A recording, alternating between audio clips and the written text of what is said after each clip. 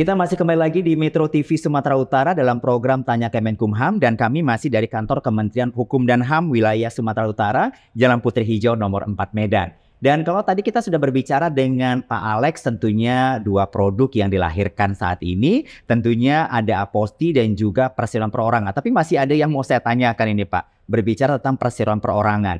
E, seperti apa tanggung jawab atau juga e, membantunya Kementerian Hukum dan HAM memfasilitasi para pemohon perseroan perorangan ini dengan bidang perbankan mungkin, dengan bidang perpajakan atau juga dengan dinas perizinan lainnya. Seperti apa sih Pak Alex?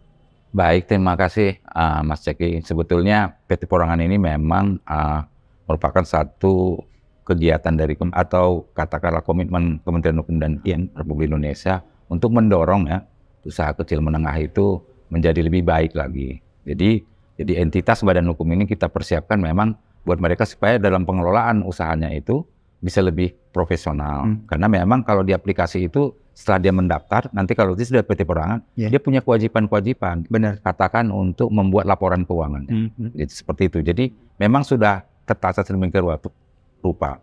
Namun demikian kita juga tidak mau karena dia UMK, jadi pajak yang mereka itu juga harus bisa lebih rendah daripada usaha-usaha pengusaha besar kan seperti itu. Jadi kita juga menggandeng uh, layanan pajak kantor pajak ya Kementerian Keuangan itu supaya juga memberikan fasilitas yang sama kepada mereka dengan kalau selama ini kan usaha mereka kan sudah ada hmm. usaha mereka dan mereka sudah dibina oleh dinas usaha kecil menengah. Iya. Ya kan?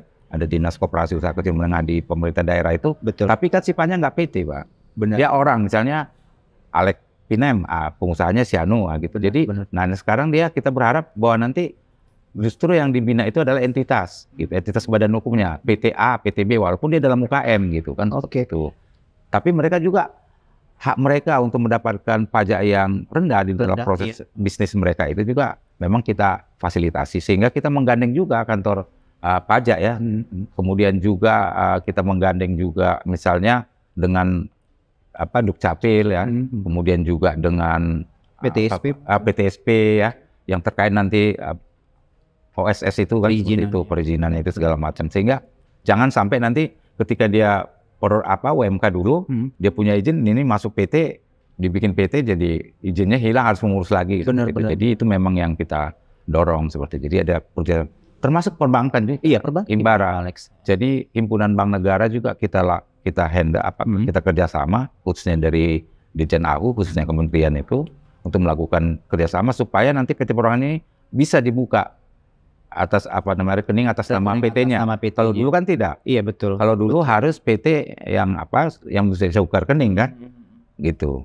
Kalau bisa entitas badan hukumnya yang punya PT yang dia dia minta akta pendirian dari notaris pengesahannya kan seperti. Itu. Nah sekarang bagaimana uh, PT Perorangannya juga bisa membuka seperti itu. Ah, rekening. Berarti Pak Alex untuk PT perorangan ini juga tidak membutuhkan akta notaris pendirian Pak Alex Memang ya? tidak. Memang tidak ya? Tidak. Berarti pengurusnya bisa langsung kemari. Jadi sendirinya itu langsung dirinya sendiri. Oke. Okay. Nah, iya. jadi kita yang menjadi uh, pemiliknya, kita yang menjadi pemodalnya, ya, betul. kita juga yang uh, dirinya juga, dirinya juga, dan kita juga nanti akan uh, mengatur laporan laba ruginya, seperti ya. itu Pak Alex ya.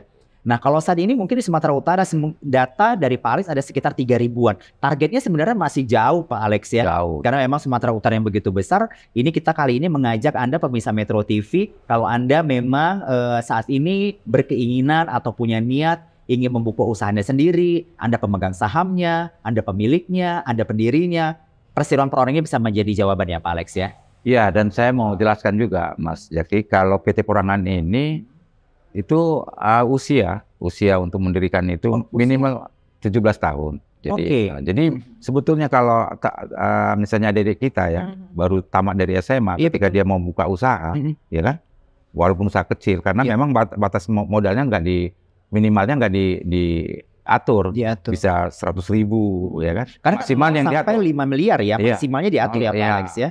Okay. Jadi mereka bikin usaha apa, lalu mereka bikin PT ya, perorangan dan biayanya juga kan untuk buat PT Perang ini kan murah. Cuma lima puluh ribu mereka sudah menjadi pengusaha kan. Oh berarti biayanya lima puluh ribu? Iya lima puluh ribu dan umurnya 17 tahun. Jadi sama SMA juga bisa bikin PT Perang. Nah menariknya mungkin saat ini memang perkembangan berbicara masalah eh, dunia online Pak Alex. Hmm. Sekarang ini kan semua eh, orang mengarah berbicara tentang usaha online. Iya. Nah, ini bisa juga bisa kan ya, mereka bisa. mendirikan PT perorangan ini dengan mungkin dengan akun online jualan mereka begitu Pak Alex. Bisa ya? Bisa selama memang persyaratannya terpenuhi misalnya dari sisi aspek permodalannya, nah, kan dari aspek umurnya ya kan dan dia sendiri yang yang memang pemilik sahamnya nah, itu bisa.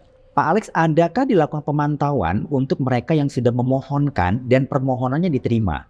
Hmm. untuk perselingkuhan perorangan ini. Otomatis mereka juga akan melakukan uh, permohonan ke perbankan sebenarnya untuk mendapatkan pinjaman modal, Pak Alex ya. Adakah pemantauan yang dilakukan oleh Kementerian Hukum dan HAM untuk mereka yang mungkin permohonannya sudah diterima gitu, Pak Alex?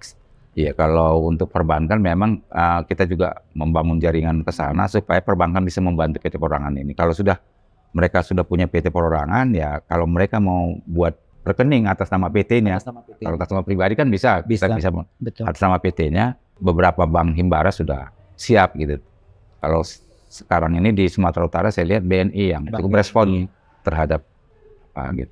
Tinggal mungkin uh, pers, uh, persyaratannya dengan pihak perbankan dalam hal ini BNI mungkin masing-masing punya persyaratan tambahan sendiri kali ya Pak Alex ya. Tapi secara kemudahan sebenarnya dari Kementerian Hukum dan HAM wilayah Sumatera Utara sudah memfasilitasi, memfasilitasi untuk itu sendiri. Sering kita ajak juga mereka hmm. untuk menjadi apa narasumber dalam kegiatan sosialisasi kita, khususnya PT Perorangan. Baik, Pak Alex, waktu kita sudah tidak banyak lagi nih ya. Pak Alex. Apa yang ingin Pak Alex sampaikan untuk uh, pemirsa Metro TV Sumatera Utara berbicara tentang dua produk ini Pak Alex?